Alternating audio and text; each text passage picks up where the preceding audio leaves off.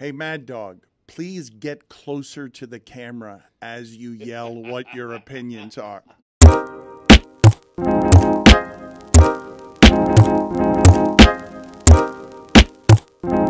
Another MVP podcast. My name is Dale, and today we're talking about Dan Le Batard continuing his vicious, relentless attack on ESPN and Stephen A. Smith. Check it out. I'm laughing here because I just love on first take. I can't help it. How they're doing, hey, Mad Dog, please get closer to the camera as you yell what your opinions My are. I like Please go. I, it's so funny. Just he is so close to the camera, and he looks great for his age. He really he really does. does. Yeah. Uh, it's just unbelievable. But the graphic, it just says, "What are you mad about?" Mad Dog is mad about NFL running backs complaining. running backs sound off after no long-term deals reached for Saquon Barkley, Josh Jacobs, and Tony Pollard. Can I just say, and I'm gonna for the viewing audience, I know the podcast audience isn't gonna appreciate this, but I appreciate what Mad Dog is doing because we have this massive space here and we never utilize it. We sit at our desk like we're still at the Clevelander in that closet, when in reality, and now this is the part where the audio audience is gonna lose me, I can walk around here and do all sorts of things over here. Look at this. Look at all this space. I could be like Mad Dog, running up the cameras. Wrong camera. Where's the camera? There it is. Oh, oh there. yeah, like over here, right? Hey, hey. Well, hold on a second. What I'm mad about. Hold on. So let's do this. Let's have you give all of your running back takes while going to cameras and finding where the cameras are, getting as close to the cameras as you can. I want you to go ahead and play with this, even though I like to think of this as just an audio medium that doesn't know it's being watched. Do the show you want to do. Do the show that's going to be more like Oddball, the show that you do with Charlotte Wilder, which is Well Amin done. El Hassan, El Hassan, Amin, Al El Amin Hassan uh, leads us El in. Amin Hassan. uh, he leads us into. I'm sorry, your name. I don't mean to disrespect you. El Amin. Hassan. El El Amin Hassan, Hassan. L E Hassan. Uh, do the show you want to do. All right, so first of all, you got to have a dead fish here for what Dan just did. All right, running backs. They're playing undervalued for the mics couldn't call them my thing. Yeah. Undervalued for most of their careers before they're up for free agency. So the problem here is when you're playing for free in college, when you're playing uh, for All right, less sit than down. Mad Dog Mad is Dog much he's better. much better at this. You You don't have know where pull the, the you don't know where the the cameras camera. are. Here's, You don't here's the know- problem. I'll help you. You Keep know bumping into the mic. You know what Mad Dog has?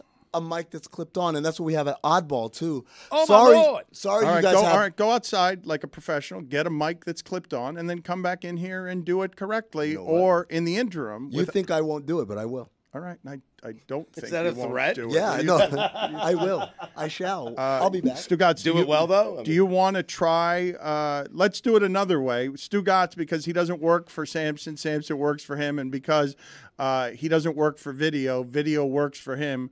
Stugatz, you have at it, and camera people, I want you to zone in on Stugatz until you're in his mouth.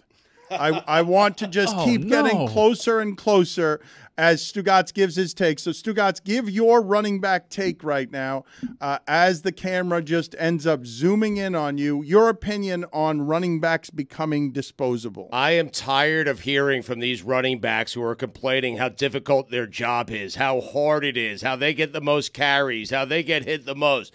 Do me a favor. You are aware at this point, if you're a running back growing up playing football and the position you chose is running back, you realize that once you get to the NFL level, if you get to the NFL level, you're not going to get paid. You're going to get paid for five years. Then they're going to draft another running back. And I have a solution for all young running backs out there. Change position. It's on you. It's not on the NFL. It's not on anyone but you. You want to play in the NFL. You want to play for a long time. You want to get paid a lot of money. Play quarterback. Play wide receiver. Play cornerback. Play safety. Play tackle. Play fullback. Punt the ball kick the ball. You know what you don't do? You don't become a running back. That's what you don't do. Excellent take. Camera work needs to catch up to the take because we don't have the reach to go inside yet of Stugatz's mouth, but I Oh. would like it by the end of the segment. His face is like a forest of yuck. Yes, it's gross. It's, Thank you. It's very red, and uh, that is, that is what hater looks like. It, there's an industry in it. He is following the lane carved out by Mad Dog. My mentor. Just continue to undercut the athlete until the running back who has no value has even less value. Play tackle. That's classic That- doggy, that- Dano. Yes, uh, yes. Uh, so that so that the running back who's making less than the kicker, you say he's still making too much. Yeah, we'll be a kicker in school. Now I've got tackle. I've got Saquon Barkley now playing left tackle. and kicking. Make yourself more valuable. A two-way If- player. listen, if all of you want to be more valuable, you know what you need to do? You need to be Ohtani. All of you, if you want to be more valuable, do all the things. Boom. Uh, Amin, are you now ready? I, I will say this for history's sake. Amin Al Hassan came into my and our loving hairy bosom because his very first day at ESPN, very first day from a front office, knowing next to nothing, he was hugely frustrated because they made him come out of a place and stand on a mark.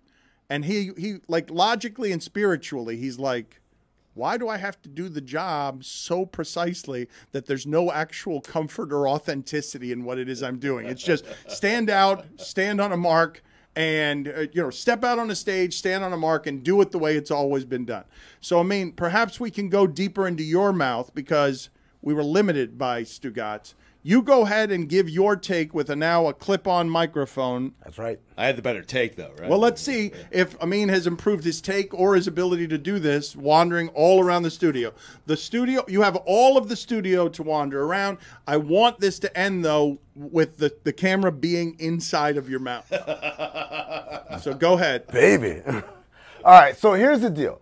When we're talking about running backs, most of their longevity is eaten up in college and in their first few years in the pro. But because of the NFL system of rookie scale pay, preventing them from getting true market value until their sixth or seventh uh, year in the league, they're continuously getting underpaid, used, and then cast aside for a new batch of people who are coming in to be underpaid on the rookie scale.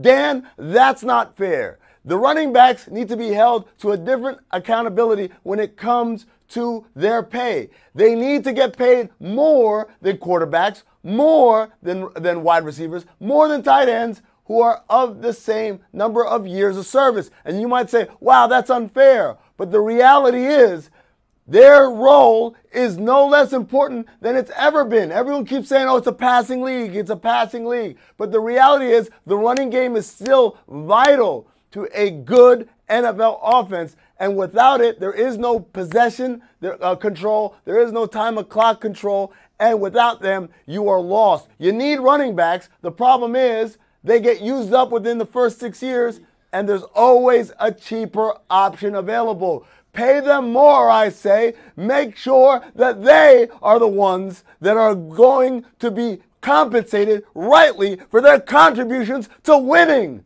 Huh. Man, Stugatz is good at this.